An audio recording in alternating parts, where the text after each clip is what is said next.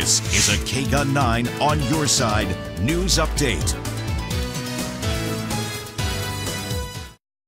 We've been following for years, and later this afternoon, a judge will meet with the family of a Tucson woman who was killed seven years ago. Well, police say Jenna Ayup was shot by her boyfriend Ronald Corbin and died. Corbin is expected to change his plea sometime next month. Nine on your sides, Veronica Vernaccio has more on what today's meeting could mean for that case.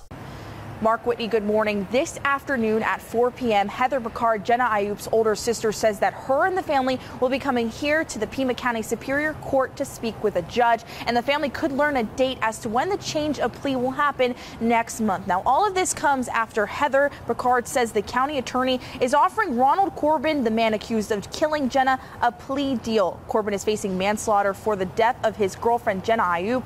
Police say in 2012, Corbin told them he accidentally shot her while cleaning his gun. It was determined to be an accident until the Pima County Attorney's Office reopened the case last year.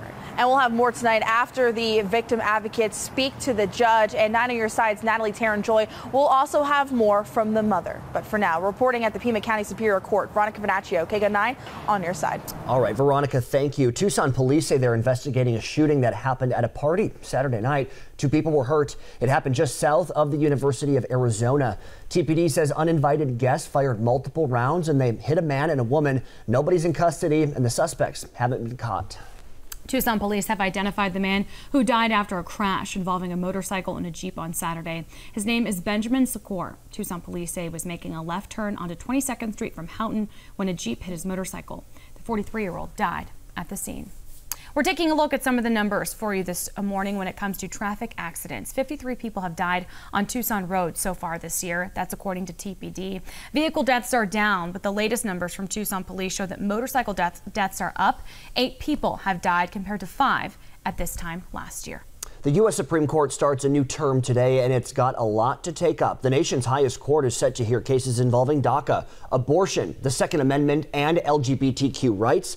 Beginning this week, the justices will consider the first civil rights case concerning transgender people that the Supreme Court has never heard. Democratic presidential candidate Beto O'Rourke made a stop in Tucson yesterday to talk to supporters about issues like gun violence and immigration. O'Rourke's campaign says he is the first Democratic candidate to visit Arizona on the 2020 stump. Well, today is the deadline to register to vote in Pima County and the City of Tucson's November elections. Select Pima County school districts in the election will be Sunnyside, Flowing Wells, Amphi, and Altar Valley.